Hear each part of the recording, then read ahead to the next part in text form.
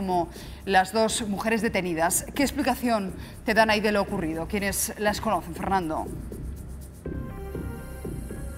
Así es, Susana, pues aún no se lo creen. Da la casualidad que a este restaurante, el Bar El Roscón, en pleno centro de Valencia, tanto Vanessa como Pura venían a departir, a compartir esos platos típicos bolivianos. Y lo más importante, venían con el niño y lo traían en un carrito. Ejercían como madres y Asunta, que las conoce, ¿cómo era Pura? Mire, yo con esto yo he quedado totalmente fría de ver que Pura y Vanessa lo trataban al niño como si fuesen una madre. El niño lo traían, comían lo que, eh, o sea, ellas comían lo que querían y al niño le daban todos los gustos que ellos, que el niño quería. Y por eso yo ahora me he quedado, pero totalmente fría de ver eso y espero que no, que no sea verdad. Pura tenía, tiene niños también, ¿no? Que es lo que usted quizás no, no entiende. Sí, Pura en Bolivia tiene dos niños, también es madre. Y ella una vez me comentó que le habían salido los papeles y que estaba muy contenta, que iba a ir a ver a su hijo este año. Y ahora me encuentro con esta sorpresa y no, no la puedo creer. ¿Realmente se cree que Pura y Vanessa pueden haber vendido al niño o ustedes creen que quizás puede ser que esté muerto, como dice la policía?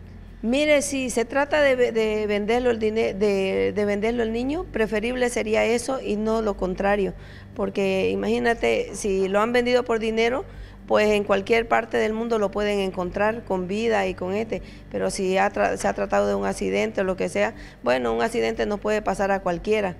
Pero si ha pasado eso, pues lo lamentamos mucho los bolivianos, que nosotros los bolivianos queremos tanto a nuestros hijos y estamos sufriendo por ellos aquí y no, no la puedo creer ahora esto. Y por eso los bolivianos también se hacen una, una pregunta, ¿no? Vosotros, ¿por qué en este caso eh, la madre deja al niño con, con, estas dos amigas? Claro, la incógnita de todos los bolivianos, que, o todas las chicas que nosotros la conocemos, nos preguntamos que por qué también la madre lo dejó tanto tiempo a su niño así este. Yo a, a mi hijo se lo confiaría a mi madre y a mi padre o a mis suegros que son que este, pero a otra persona uno lo confiaría, pero mucho tiempo tampoco no. Ahí tiene también parte de culpa la madre por no preocuparse un poco más por su hijo. Cinco meses es mucho tiempo para que ella lo haya dejado solo.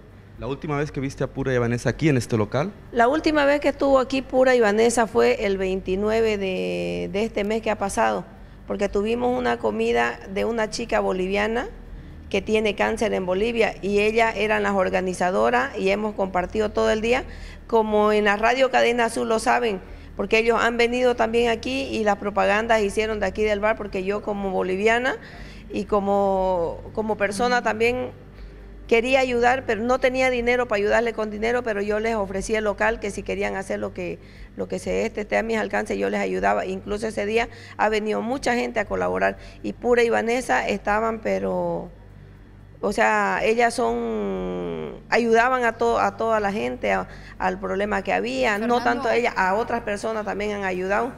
Sí, no, que le, quería preguntar Susana, si tenéis alguna pregunta. Sí, Asunta es bastante dura con la madre porque dice que jamás tenía que haber dejado a los niños con las amigas, tenía que haber, eh, bueno, pues eh, optado por tal vez la abuela o algún pariente. E, entiendo que eh, la madre está sola en Madrid, por perdón, en, en, Valencia y por tanto no, no podía confiar en nadie más, ¿no? La, madre estaba en Francia.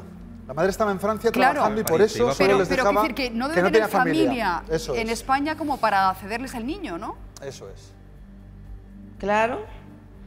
Eh, ya, pero no todo en la vida es el dinero. También primero uno piensa tanto en el dinero como también en su hijo. Ya, usted porque por ello estamos aquí. a trabajar dejando el niño aquí, ¿no?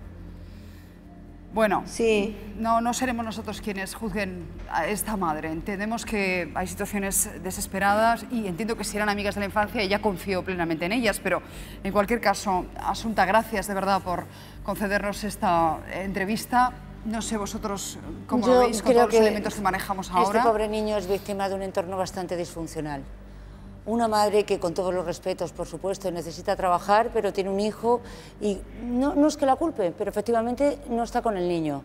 Una pareja que desconozco qué relación tienen entre ellas. es como un matrimonio. Eh, como Creo que son pareja afectiva eh, que dan una fachada social de eh, grandes cuidadoras, pero que parece esconder una relación bastante más conflictiva con el niño. Yo creo que hay un tema de maltrato detrás. Sería rarísimo que lo hubieran vendido y reconozcan un delito mucho más grave. Y termino, hay una inductora y una inducida. Eso es un clásico cuando se actúa en pareja. ¿Y la inducida es la que ha hablado? Hombre. Y la que se derrota es pura, que es la más joven. Cuando esto empieza, aunque, aunque es verdad que hay cosas diferentes, empieza un poco como el caso Bretón, llegan policías de la misma unidad a Valencia se hace lo mismo, el policía sombra, se queda con cada un, policía con cada una, las separan y van hablando con las dos y la joven, digamos, la, que hace el papel más de madre, que tiene dos hijos en Bolivia, es la que se derrota y cuenta la historia. Pues la situación es esa, dos mujeres en la cárcel, ellas han confesado que arrojaron a Johan a un contenedor, policías en un durísimo trabajo, se lo aseguro, buscando en un vertedero, muy pendientes de la última hora que nos dé la búsqueda del cuerpo del pequeño Johan. Estaremos muy atentos. Vamos con otra historia también dramática. Casi a punto de que prescriba el caso por la muerte de Soledad Donoso en Córdoba, la investigación se ha reabierto.